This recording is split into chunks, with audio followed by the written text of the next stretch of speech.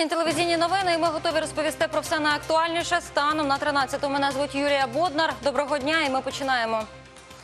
І одразу до головного сьогодні у Маріуполі в результаті підриву автомобіля загинув співробітник служби безпеки України, полковник Олександр Харабешлюш. За інформацією СБУ, вибух стався близько 8.30 ранку в житловому кварталі міста. Прокуратура Донецької області кваліфікувала подію як теракт, організований диверсійно-розвідувальною групою так званої ДНР, оскільки полковник Хараберюш був керівником контртерористичного підрозділу Донецького управління СБУ. Відомство зробить все, щоб знайти і покарати винних, зазначив голова Служби безпеки Василь Грицак. У загиблого правоохоронця залишилося двоє дітей. Молодшій доньці – два роки. Обстріли в районі проведення АТО не припиняються. За минулу добу російсько-терористичні війська 69 разів обстріляли позиції ЗСУ. Епіцентром вогневого протистояння залишається Донецький напрямок. Тут найгарячіше було в районі Луганського, захисників якого російсько-терористичні підрозділи обстрілювали з артилерії, мінометів, озброєння БМП, гранатометів та великокаліберних кулеметів. По всій лінії розмежування активізувалися ворожі снайпери. Українські бійці відкривали вогонь у відповідь. За даними штабу АТО, минулої доби 13 наших захисників отримали поранення та бойові травми. Двоє військовослужбовців загинули. Сьогодні в досвіта від вибуху газового балона на Троєщині постраждав чоловік, який опинився під завалами. Інцидент стався близько п'ятої години ранку на території гаражного кооперативу по вулиці Закревського, 61, повідомляє Держслужба з надзвичайних ситуацій Києва.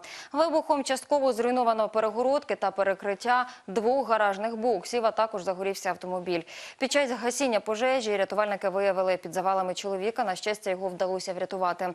За словами власника сусіднього боксу, потерпілий міг проводити в гаражі ремонтні роботи.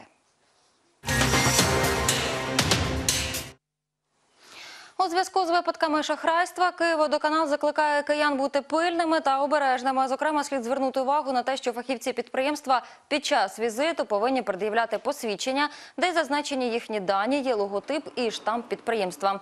Окрім того, про поквартирні обходи заздалегідь повідомляють через оголошення на будинку, а також попередньо домовляються із керівниками обслуговуючих організацій ОСББ і ЖБК. Уточнити та перевірити інформацію про особу, яка представляється працівником Київводоканалу, можна за номерами, які зараз на екрані. Всі роботи, повірка, опломбування лічильників, контрольні зняття показів здійснюються безкоштовно зі складанням технічних актів у присутності мешканців. Київ, Дніпро і Львів стануть трьома першими містами, де в тестовому режимі буде введений електронний квиток. Після чого ця практика пошириться на всю країну. Повідомив міністр інфраструктури Володимир Омелян. Він також зазначив, що наразі уряд працює над залученням провідних європейських технологій до України і намагається зробити їх звичними для громади та бізнесу. До слова, у Києві в трьох видах транспорту паперові квитки мають поступитися електронним упродовж цього року. Передбачається, що електронна система оплати проїзду має підвищити прибутковість комунального транспорту і як результат сприяти скороченню потреби у бюджетному фінансуванні.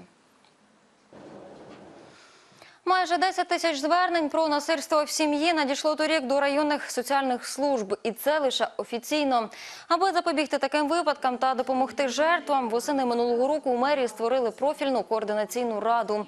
Напередодні відбулось друге її засідання. Учасники розглянули поточну ситуацію, обговорили шляхи вирішення проблеми насильства в родинах, допомогу потерпілим та скоординували взаємодію з поліцією і громадськими організаціями. Нам би хотілося е, підняти питання, звичайно, торгівлі людьми це е, один з наших пріоритетів, але і боротьба з насильством у сім'ї. На жаль, е, ці факти збільшуються, і дійсно тут минулого разу про це говорили, що маємо більше інформувати людей, більше надавати інформацію про те, як уникнути насилля, як захистити себе від цього. Що якщо на першому етапі вже відпрацьований механізм, є звернення в поліцію, е, судові рішення, є робота з кривдниками, то е, нам ще є е, де працювати в напрямку.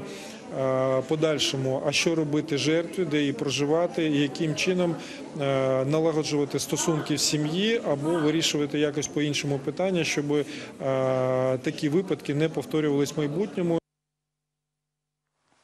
Від завтра, 1 квітня, через нерест розпочинається весняно-літня заборона на лов риби. Триватиме вона до 9 червня. Дозволяється аматорський лов, тобто порибалити можна тільки з берега в межах села чи міста в місцях, де немає природних нерестовищ і лише незабороненими знаряддями лову однією вудкою або спінінгом. Максимальна норма виливу 3 кілограми на людину за добу. За незначне порушення правил рибальства передбачено попередження або штраф від 34 до 170 гривень. За грубі порушення можуть накласти штраф у розмірі від 3400 до 6800 гривень або позбавити волі до 3 років. Крім штрафу, правопорушнику нараховується сума компенсації за нанесені збитки за кожну виливлену рибину. На поштовій площі зранку активісти розмістили живий банер. Кілька десятків учасників акції утворили слово вільні та роздавали листівки з вимогою розвивати пішохідні зони, велоінфраструктуру і громадський транспорт. Подробиці у наступному сюжеті.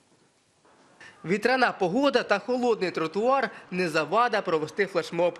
Зо три десятки учасників у білому спецодязі власними тілами промовляють слово «вільні» від автомобільного засилля міст. Місто має бути вільним від заторів, від смогу. Тому я прийшла сюди сьогодні. Я хочу, щоб місто було чистіше, щоб воно було більш придатне до життя, щоб можна було безпечно пересуватися на велосипеді, більше пішохідних, зелених зон. Вільний рух для всіх – гасло акції і водночас головна вимога. Активісти просять якнайшвидше прийняти транспортну стратегію міста, а також цільову програму розвитку велосипедної інфраструктури. І не тільки просто затвердити, а все-таки е, впроваджувати її. І щоб, щоб був пріоритет е, велосипедистів, пішоходів і, і громадського транспорту. Від того, коли місто створює інфраструктуру для велосипедистів, е, створює якісний збільшує кількість якісного громадського транспорту, то від цього виграють всі. От ми надихаємо смогом. Наприклад, така цифра, щоб в Києві побудувати велоінфраструктуру, покрити все місто. Це цей проект коштував 1 мільярд гривень, і це всього бюджет двох поштових площ, на яких ми з вами знаходимося. Уже завтра відбудуться ще кілька екологічних акцій. У парку Шевченка пройде велопарад, а у сквері Небесної Сотні охочих запрошують на екокіно. Богдан Бриненко, Андрій Ніконов, телеканал Київ.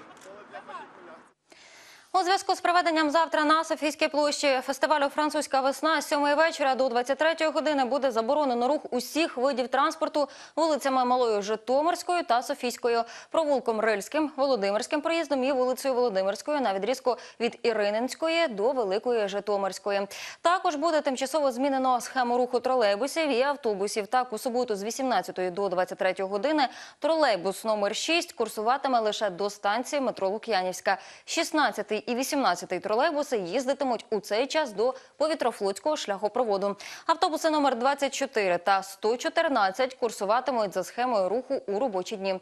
Рух транспорту хрещатиком 1 квітня з 19 до 22 буде дозволено. Також буде підключено зовнішнє освітлення на Софійській площі та Володимирській сьогодні з 20 до 1 ночі та завтра з 20 години до 22. Завтра в Україні відбудеться пробне зовнішнє незалежне оцінювання з української мови та літератури. За інформацією Українського центру оцінювання якості освіти, пробне тестування розпочнеться об 11-й. Допуск до пунктів його проведення триватиме з 10.15 до 10.50 і здійснюватиметься за паспортом та запрошенням. Пробне ЗНО з інших предметів відбудеться за тиждень, 8 квітня. Визначити власний результат можна за допомогою спеціального онлайн-сервісу, який буде доступний із 1 квітня на сайті Українського центру оцінювання якості освіти та в особистих кабінетах учасників пробного ЗНО. Ось такими подіями відзначилась перша половина цього дня. Як далі розвиватиметься події? Команда СТН розповість уже о 15 Тож не пропустіть. На все добре, будьте здорові.